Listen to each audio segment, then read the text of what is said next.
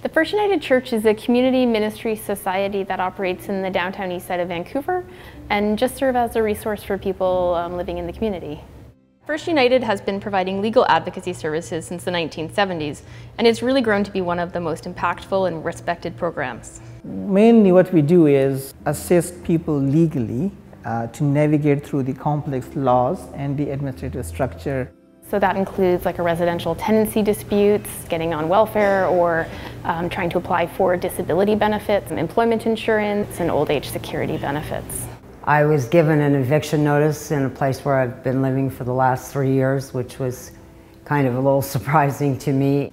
Well, it had to do with financial situation I was in. Well, I lost my partner of 30 years. I was still living there and I couldn't afford to live there, but I couldn't afford to move either.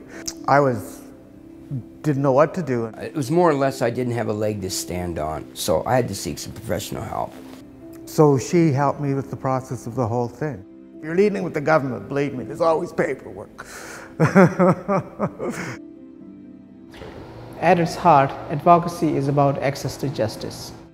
There's been a huge cutback in legal aid over the past few decades, and so at least people trying to fend for themselves. Because most of these vulnerable people have multiple barriers some barriers include mental health issues, um, people, some people have low literacy rates. Or some of them are immigrants who are having hard time retrieving their documents because they have lost their passport or because they are homeless. Some people aren't able to use computers.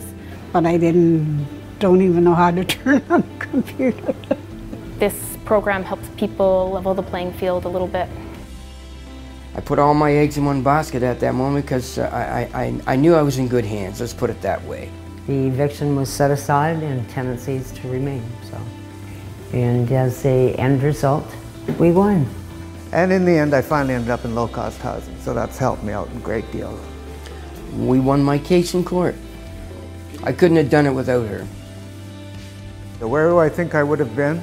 Probably still trying to figure out the paperwork. I'd have a nervous breakdown right now. It just helped me from falling apart. I would probably be so stressed out. I don't know. I would probably be who knows? I could have been homeless. We try our best to accommodate everybody who comes. Um, that being said, I think the demand is always in excess of what anyone can provide. It's used every day, basically, five days a week. We need to pool in more resources into the advocacy program to make it more effective and accessible to the members of the community.